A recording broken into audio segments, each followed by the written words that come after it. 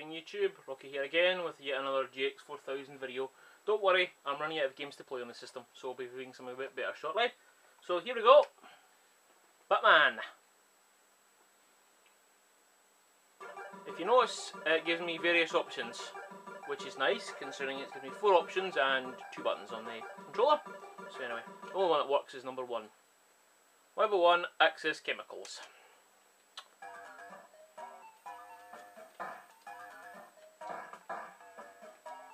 For example, for people ask, yes I have played this game before. But yes, that is a batarang and it does work.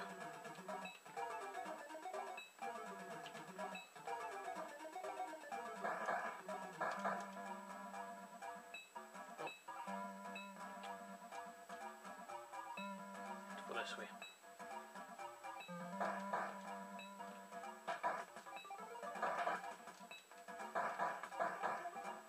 Like kind of like the health bar at the bottom. If you notice, it's Batman's face that seems to turn into the jo turning to the Joker's.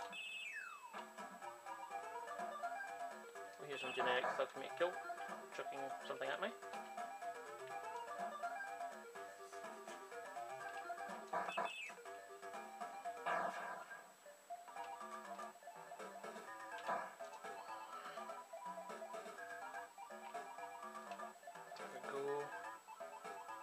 Looks there's a time limit.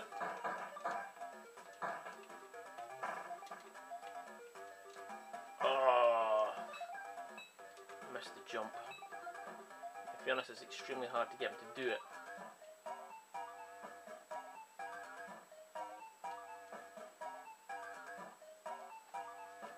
Nice and bright.